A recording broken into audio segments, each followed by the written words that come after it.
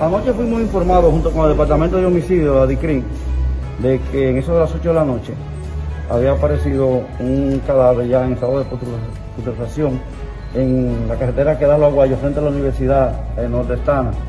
Se trata del nombrado Khalil Josué Encarnación Rodríguez y de, de nacionalidad eh, puertorriqueña.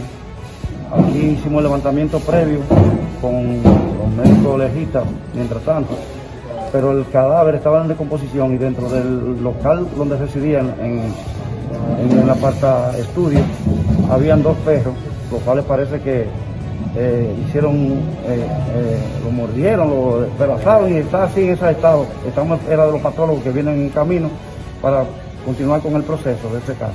Él estudiaba en la universidad donde está la medicina y estaba también en el internado, según el decano de, de medicina de, de la universidad. Hasta ahora es lo que tenemos por el momento. Entonces se presume que los caninos se los comieron los perros. Se presume eso. Ya ahora hay que ver el estudio que le van a hacer los patólogos para su análisis correspondiente referente a eso. ¿Cuáles partes del cuerpo encontraron de él? Imagínate, eso es indescriptible porque tuvimos que ponerlo en, en cajas para...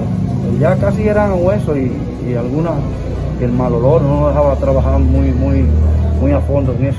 ¿Se descarta que hayan participado manos criminales? No nos descartamos nada porque todavía no, no hemos podido hacer ningún estudio científico.